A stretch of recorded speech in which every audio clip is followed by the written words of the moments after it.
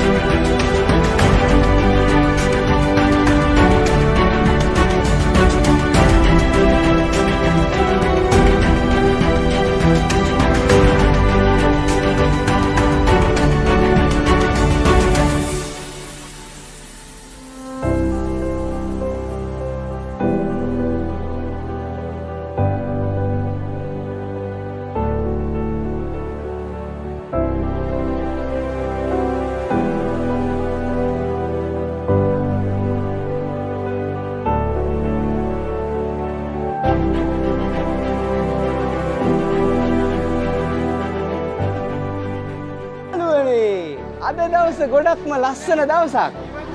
හරියටම දෙදස් දහ නවේ ජූලි හත්තනිදා ලස්සනම දවස උදා වුණා. හැමෝම උසස් පෙළ විභාගේ ලියලා හීනයක් තිබ්බා කැම්පස් එකට එන්න.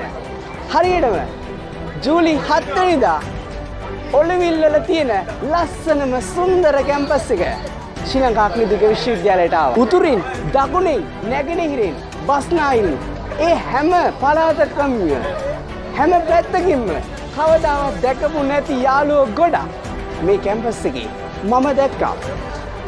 අම්මගේ තාත්තගේ හෙවනේ හැදුන වැඩුණු මම ජීවිතයටවත් දැකපු නැති යාළුවෝ එක්ක හොස්ටල් ජීවිතේ අවුරුදු ගණනාවක් මම ජීවත් වුණා.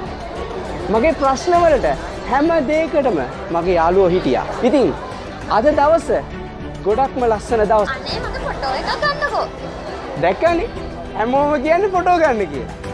අග්නි 11 පවුලේ 17 18 සියලු දෙනා අද බැච් ෆොටෝ එකට ලෑස්ති වෙලා හොන්ඩේ හදලා මේකප් කරලා කෙල්ලෝ දිග බලන්නක ලස්සනද?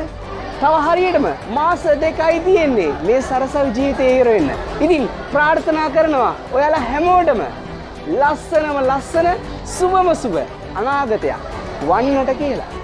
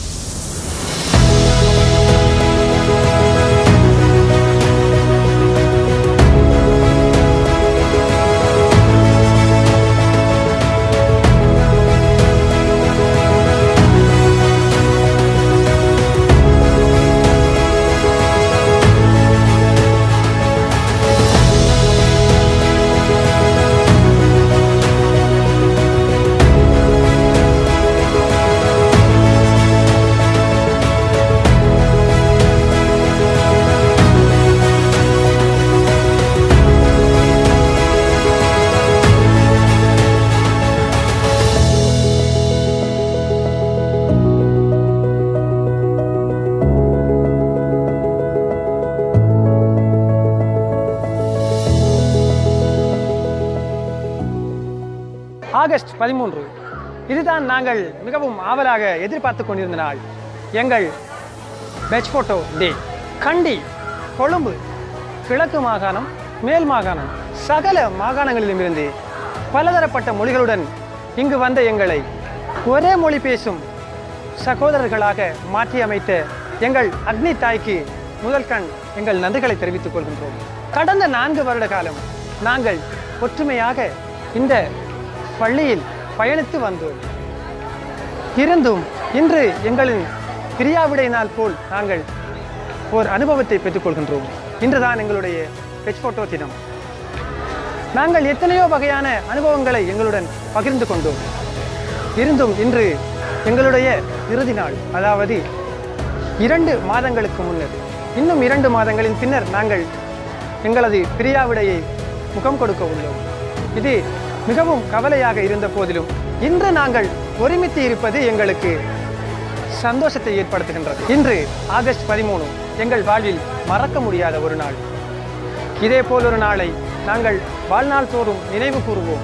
அதே நேரம் எந்த பிடத்திலும் எங்கள் சகோதரர்களை காணும்போது மீண்டும் இதே போல் எங்கள் உறவை மேம்படுத்தி செல்வோம் என்பதில் எவ்வித ஐயமும் இல்லை.